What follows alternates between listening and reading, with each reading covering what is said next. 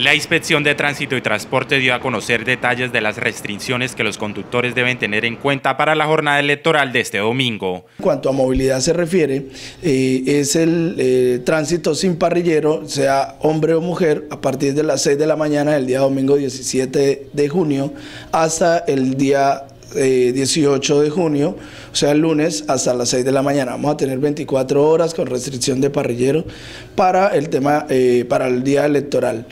De la misma manera, el agente de tránsito se refirió a la prohibición de cualquier tipo de publicidad en vehículos durante el desarrollo de esta jornada con la democracia. Tenemos también eh, la publicidad de vehículos, queda 24 horas antes, queda suspendida y prohibida el tránsito de vehículos con cualquier tipo de publicidad electoral.